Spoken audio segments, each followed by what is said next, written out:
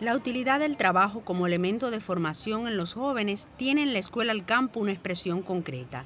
Este miércoles, 864 estudiantes de preuniversitarios y politécnicos de Bayamo, Arriba y Bartolomé Mazó se movilizaron hacia las labores de recogida de café.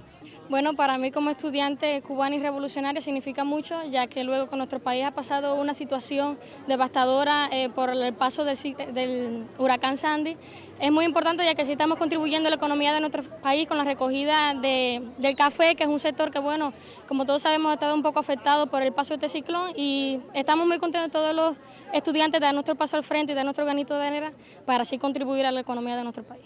Bueno, es una buena, una buena oportunidad para así retribuirle a la revolución todo lo que han hecho por nosotros los estudiantes y así poder cumplir y ayudar a la economía, ya que estamos dispuestos a hacer todo lo posible con tal de restablecer la economía, porque sabemos que han habido varias pérdidas y esperamos, no sé, lograr así retribuirle todo y tener un resultado satisfactorio en el campo.